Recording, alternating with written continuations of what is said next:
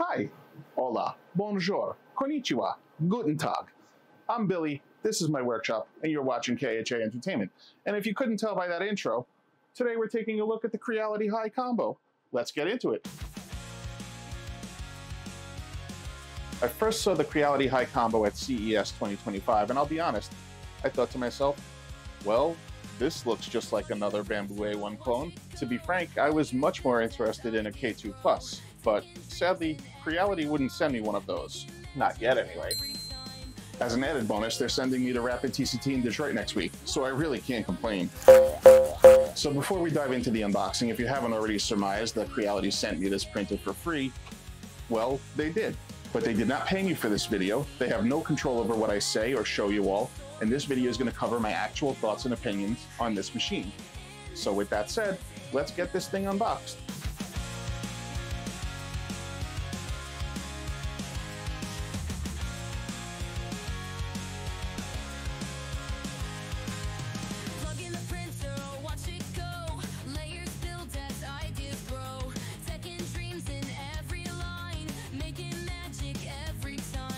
The Creality Hi Combo is Creality's newest Cartesian style or bed slinger multicolor printer, featuring a 260 millimeter by 260 millimeter by 300 millimeter build volume, ever so slightly beating the 256 millimeter squared build volume of the A1, X1, and P1 series that this machine competes with.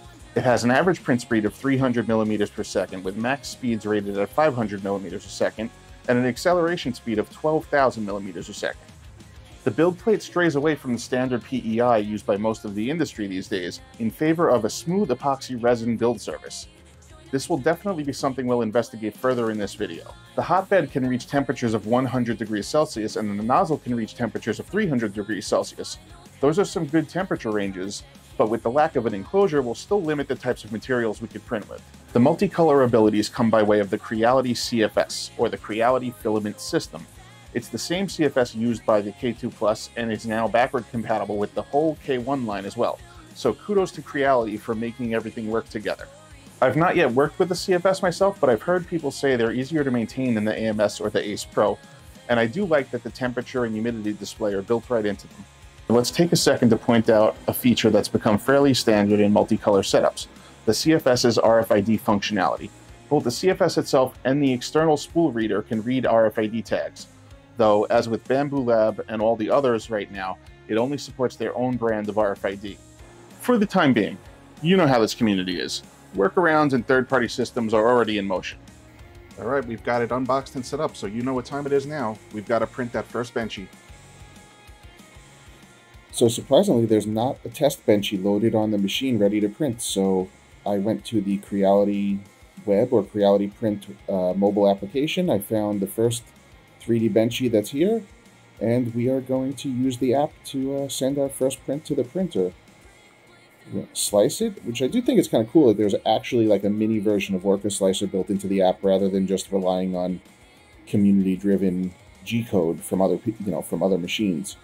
Uh, you can actually change the parameters, so that that is a pretty cool difference than say Bambu Handy. Okay, uh, I'm going to leave everything the same. 0.2 standard height, hyper PLA. Uh, let's slice. All right, and for this first benchy, we are going to use the Creality Hyper PLA Peach Fuzz.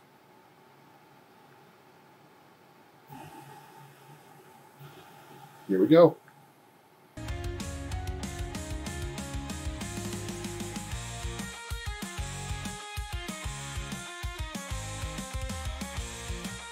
Alright, the first print is done. This resin, this resin sheet is pretty legit. That was on there.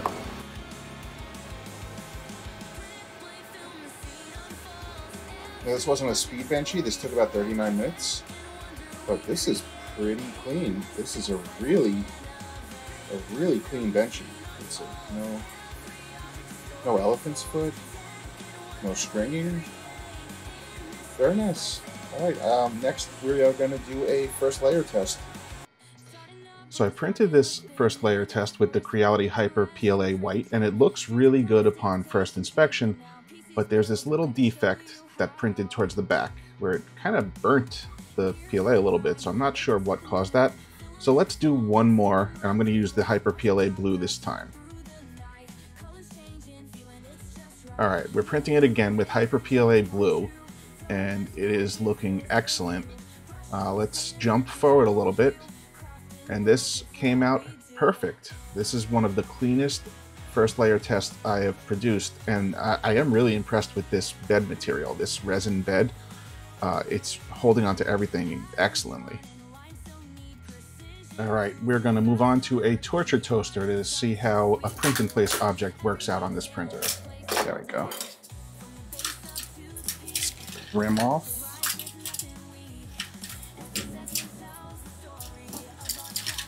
Okay, first impressions. I mean, it's pretty clean. Just the, the little tiniest imperfection at the very top of the toast, which is fairly common. I've printed this on four different printers so far, and they almost all never get that perfect, that ridge. Um, the text is good. Let's see. Oh. It's like one of our one of our levers broke because the brim held it in place. Okay. Okay, the tolerances. The point two and the point. Let's see, which was that?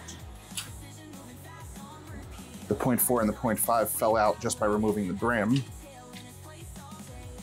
0.1, 0.2, and point 0.3, Oh, point 0.3 broke. So point 0.1 and point 0.2 are fused. I need to stop printing torture toasters with brim. I usually just leave it at the settings provided by the person who designed it because I anticipate that they had it set up to print properly, but when you print a torture toaster with brim, it kind of fuses things together. Well, let's look at the, the text came out, the vertical text came out nice. I'm gonna stop it here so I could remove the brim and then we could test the gears. Okay, so it's not the fairest of comparisons because the brim kind of locked everything up. But once the brim was removed, these were able to turn. And I, I only bothered with one side. It's going to be the same on this side. So, but overall, very clean torture toaster. And um, yeah, I'm, I can't say I'm impressed with the results, but it's pretty standard for this type of printer at this price point. Now we're going to do an all-in-one printer test to check on the tolerances that this machine produces.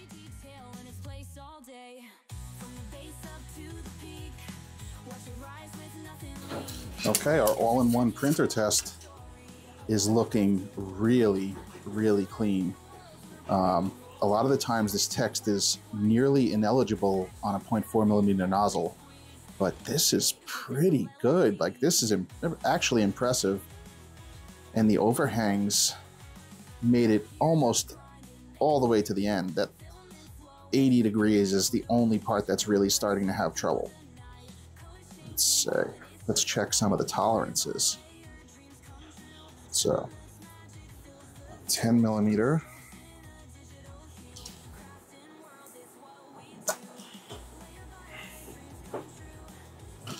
Nine point seven. Internal, we're at seven point five. Okay. Looks like this one is supposed to be seven millimeter. It's eight. It's reading. I'll, I'll put in the comments uh, on. I'll put text on the screen as to what it's actually supposed to be, but it's reading 7.8. Okay, vertical height.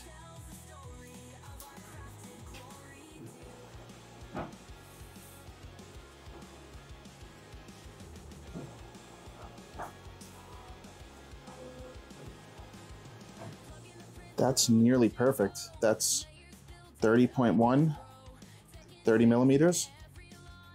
Okay. Let's see. 20's reading pretty close. 20.25.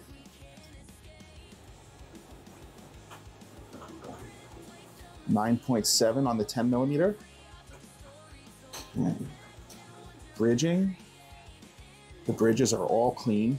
No errors with the bridging. Let's get, this would be the X, X-axis tolerances. 10 millimeters, 9 point, oh wait, 10.1. Okay, let's check the Y. The Y is just a little shy, 9.8. Hole test. Okay, this is supposed to be an 8 millimeter. 7.65. Oh, wait.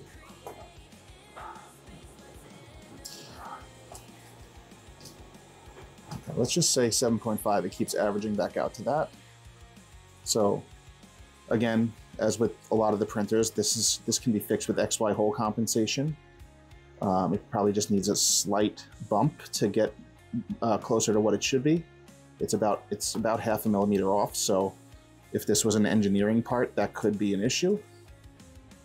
Um, let's try, let's say this should be four millimeters wide on the X. Okay, that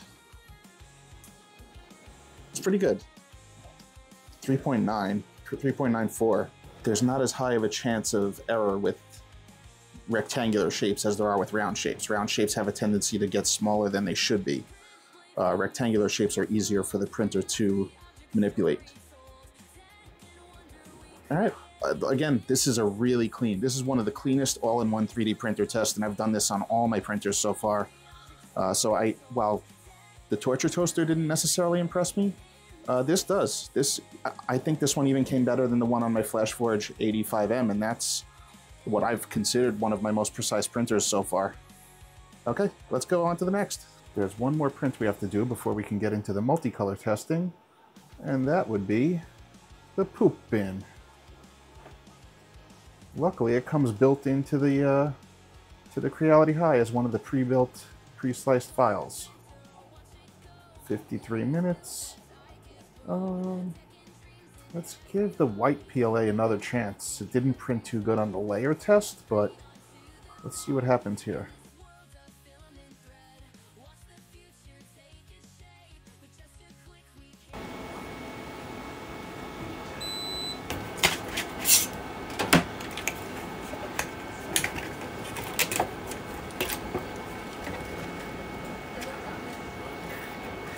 So for the multicolor test, we're going to switch out the peach fuzz and the white for some Anycubic pearl black and texture gray. And the reason I'm going with these colors is I have multiples of these and I also have multiple Creality red. The only variable is going to be the blue. So the Creality blue is going to stay in here. I'm going to have to use Polymaker blue on the Bambu A1. Um, but the blue is uh, I mean, it's a pretty integral part of the model, but we'll just have to keep it in mind as we compare. Um, for the most part, it will be all the same filaments on the two models. Since the Creality Hi doesn't use textured PEI, it uses a epoxy resin. I am going to swap the bed on the Bambu A1 to have something similar. So instead of textured PEI, we're going to go with this PEO sheet that actually has a water ripple texture, which is going to be kind of cool with what we're printing. Interesting little uh, little caveat here. I've gotten this twice now. This warning that there is a stray object on the build plate, and as you can see, there is nothing on the build plate. So, I'm not sure what's causing this, but if it keeps happening, I'm going to have to email Creality about it and see what's going on. If I click OK, it's going to start the job, but I didn't realize this error was on there, and then like an hour went by, and I'm like, wait, is this printer not doing anything? And the A1 is chugging along, and the Creality is just sitting here because I didn't get a notice about this error. All right, we are underway with the Creality Hi versus Bambu A1 printing out Stargates, because, you know, you need Stargates in pairs. somewhere in that process, the infill changed.